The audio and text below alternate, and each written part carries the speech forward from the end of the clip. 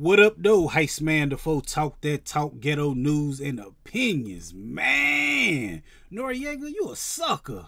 If y'all know what I'm talking about, man, Noreaga, he did an interview this morning on Hot 97 and he went up there starting apologizing, man, about some stuff that Kanye West said on Drink Champs about, uh, what's my man named, George Floyd.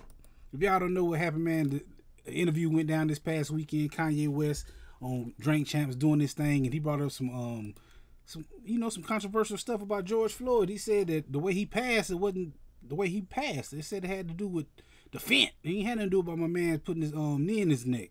That's why I say, man, you a you a sucker for that. Not because you let it go down. You can't stop Kanye West from saying something, but you went up there and apologized for it like like you can stop Kanye from saying something. And you went up there with the media like, oh, I'm sorry, I'm sorry, because you got some backlash over some stuff Kanye West said. Kanye West said it. You ain't say it. You you can't stop that man from saying something. So why you going to apologize for? That's why I say you a sucker, man. Hold on, let me look at that. You a sucker. Let me go over there apologizing for somebody else, man. What he said, what he said, yo. You what you got to do with that?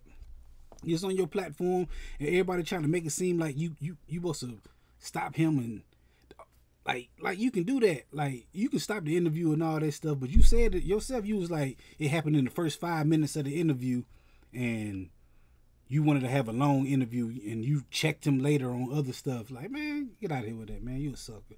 We definitely gonna be talking about this Friday right here on this channel because I go live every Friday talking about stuff just like this. You just gotta come through and holler at me, man. Hit that like button, the comment button, the share button, the subscribe button, the notification bell, all them good buttons you gotta hit to get this pimping that I'm putting out when I put it out. And like I said, I go live every Friday at 9 p.m. Come through, join the conversation, and holler at your boy.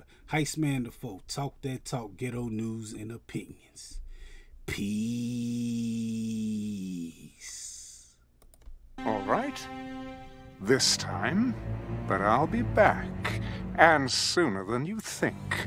Wherever there's prejudice, ignorance, inequality, I'll be there.